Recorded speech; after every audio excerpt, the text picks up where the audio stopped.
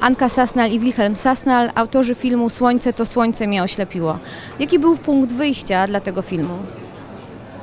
E, To była książka Alberta Camus Obcy, która towarzyszy nam od e, czasów młodości. To była jedna z tych niewielu lektur, które przynajmniej we mnie pozostały, a dla mnie to było ważne też przez, przez piosenkę The Cure Kirin Arab.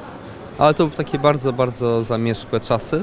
Natomiast e, no to były refleksje chyba dotyczące też e, tego, co się dzieje na świecie, ale też Specjalnie w Polsce. specjalnie w Polsce. przepraszam.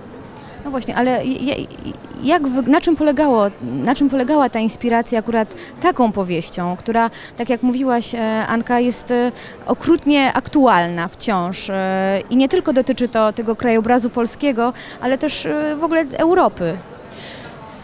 Y, No po pierwsze dlatego, że mm, wiesz, myśmy znaleźli chyba jakieś takie podobieństwa mm, w głównym bohaterze i uznaliśmy, że y, wielu naszych znajomych, wielu ludzi, który, którzy gdzieś nas otaczają, to jest właściwie świat y, obcego, czyli, czyli Marceau. I właściwie też ta sytuacja społeczna się nie, nie, nie, niewiele różni, ale chyba takim najważniejszym zdaniem, które mi utkwiło w pamięci, które powiedział Camille i które było takim trochę mottem do budowania takich, nie wiem, podobieństw pomiędzy naszym bohaterem a bohaterem e, jego książki. On powiedział, że są są takie społeczeństwa, w których człowiek może zostać skazany na śmierć dlatego, że nie płakał na pogrzebie własnej matki, y, co oznacza, że nie chce brać udziału w grze, co oznacza, że mm, nie chce kłamać. I ten nasz główny bohater właściwie, no, mo- mogę powiedzieć, że też nie chce brać udziału w grze, y, nie chce należeć do tego społeczeństwa.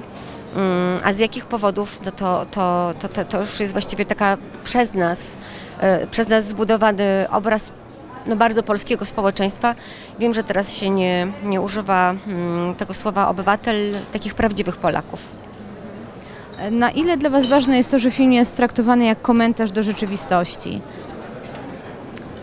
To jest bardzo ważne, dlatego że właściwie to, no, to było naszym mm, zamiarem, tak? Ja nie chcę powiedzieć, nie wiem, czy to jest do właściwe słowo, żeby mówić o filmie, że mm, jest jakiś tam publicystyczny czy politycznie zaangażowany, chociaż myślę, że w tym przypadku to ma to ma swoje uzasadnienie, ale ja mogę powiedzieć, że my się właściwie podpisujemy pod tymi wszystkimi słowami, bo są w filmie dialogi, e, no, które tam zostają wypowiedziane przez, przez, e, przez te postacie. W tym sensie się podpisujemy, że, że wiemy, że w po Polsce słowa takie padają. Ja pisząc scenariusz czerpałam czasami z tekstów e, zasłyszanych. To są słowa polskich polityków, to są słowa osób publicznych, ale też właśnie przeciętnych, e, no, przeciętnych Polaków, e, którzy uprawiają literaturę na, na forach internetowych. Słuchajcie, po pokazie podeszła do mnie pani i powiedziała, że nie zdążyła zadać jednego pytania i przekazuję to pytanie. Myślę, że ono jest interesujące. To jest, e, Wilhelm, do ciebie pytanie. Otóż ona chciała zapytać, e, czy masz tak, że kończąc film masz ochotę malować? E, czy zostają w tobie konkretne obrazy, jakieś sceny, które myślisz o tym, żeby zachować już nie na kliszy, ale na płótnie? I tak i nie, dlatego, bo to jest bardzo jednak przypadkowe. Moje inspiracje są bardzo przypadkowe.